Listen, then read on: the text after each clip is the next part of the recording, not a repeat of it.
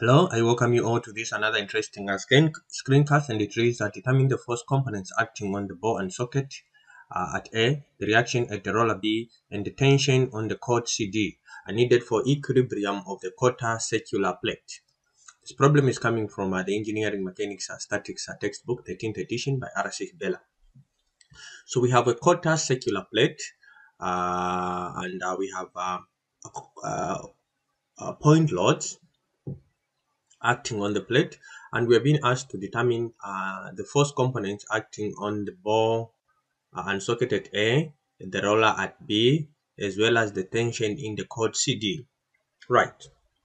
So first and foremost, uh, let's draw the free body diagram. So we expect at the uh, at the at, at the ball and socket uh, uh, at A, we expect a reaction in this direction that we're going to call AZ and then a reaction in this direction that we are going to call AX and then the reaction in this direction that we're going to call AY. At the roller, we only expect one reaction in this direction and we are going to call this one BZ. And we expect a tension force there, okay? We expect a tension force this direction that we are going to call CD. Alright, that is if we did a sectioning there where I've drawn the green line. Alright, so these are the reaction forces. Let me also draw component of uh, uh, the mapping of uh, the distance for 200 newtons, which is uh, this one here. I want to just draw its mapping on the y and uh, on the x. So if I map to this, if I mapped this there and if I did the same also mapped this. Oh no I'm not drawing so well. If I mapped this there like so. So this distance here is the one I want to show. This distance here uh, which is going to be something like this all right something something like this.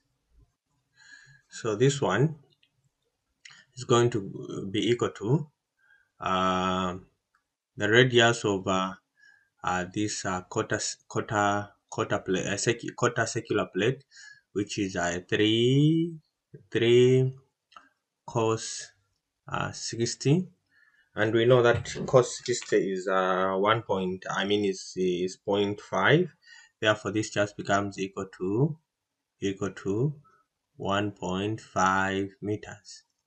And then this one here this one here is going to be equal to this one here is going to be equal to 3 sine 60 this one i'll leave it like this. I don't want to disturb it because i'll have decimals and i don't want to uh, disturb its accuracy. I'll leave it like this okay? Because sine 60 you know it's a number that keeps on repeating itself right? I mean not repeating. It does not end right? What do we call those numbers? Irrational? Is that so? Okay then let's move on. Uh so having done so we are going to draw the, I mean, we are going to apply the equations of equilibrium. And this is a 3D system, so we expect um, uh, six equations of equilibrium, right? Three in translation x, y, and z, as well as moment in x, y, and z. So we have summation of forces in the x direction equal to 0. So in the x direction, we don't have any force applied in that direction. Therefore, ax is just going to be equal to 0 uh, newtons right. And then we have a summation of forces in the y direction.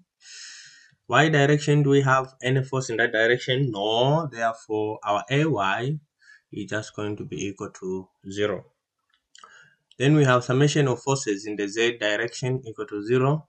What do we have there? We have az okay what else? We have bz what else? We have um uh, the forces that have been applied on the circular plate, okay, minus 350, they are pointing down, okay. They are pointing down, therefore they are negative. So minus 350, minus 200, and the minus 200, and uh, we have uh, a tension CD, which is positive, therefore plus CD, uh, CD equal to 0. Great. So uh, we have this uh, particular equation. Uh, that's AZ plus BZ uh, uh, minus, uh, 350 minus 200 minus 200 plus CD. All right. So let's now apply the equations. We can summarize this, right? Let's write it as AZ plus BZ plus CD.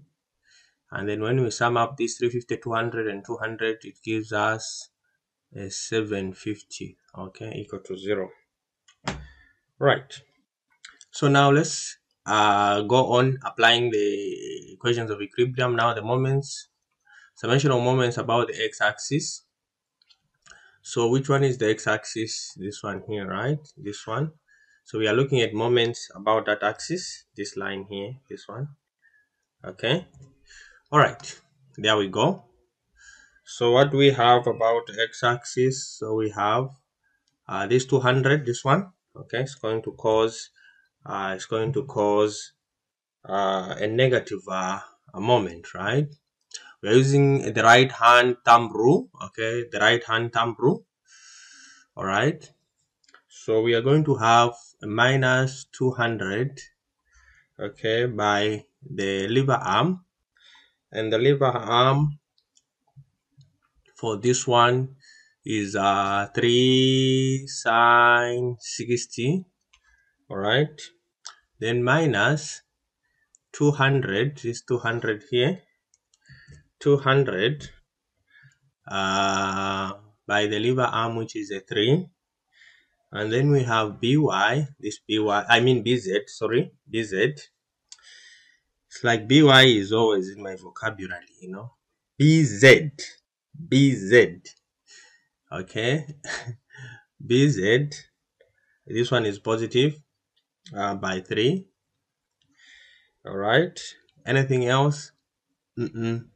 so this is equal to 0 therefore my bz gives me what does it give me? Minus 200 times 3 sine 60 minus 200 by 3 then divided by 3 all right.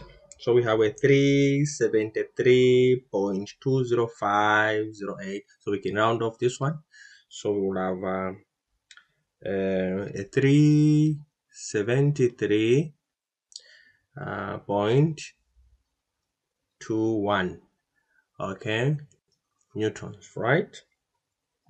Great. Then uh, summation of moments about the y axis what we have?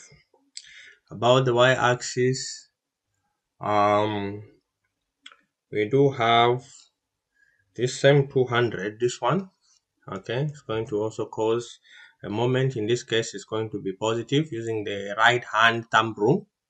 So it's a 200 uh, by a 3 cos 60 okay? We said 3 cos 60 is just 1.5 right because cos 60 is a 0.5 and then we have plus 350 uh, times uh, 350 times 2 the lever arm and then we have minus az az by 3 equal to 0 all right therefore our az is just going to be equal to can do the calculation 200 by 1.5 plus 350 by 2 uh, divided by 3. So this is a 333.33 newtons. Great. So finally, using this equation, this one here, okay, let's calculate uh, CD since we already know what AZ is and BZ. We can calculate CD, which is the tension in the cord CD. So our CD, okay, our CD is going to be equal to, our CD will be equal to, uh, what is our AZ?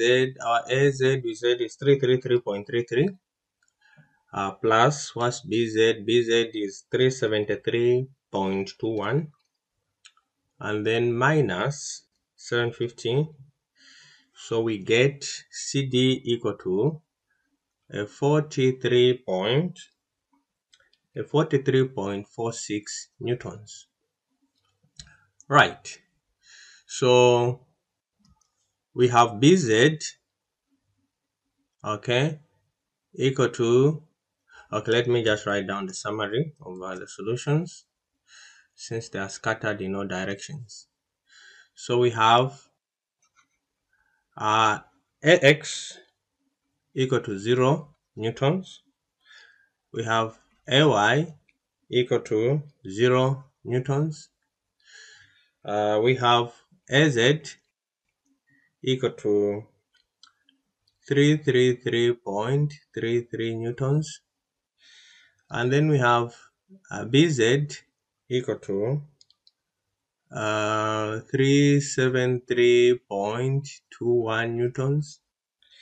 And then we have CD which is the tension in the cord CD which is equal to 43.46 newtons.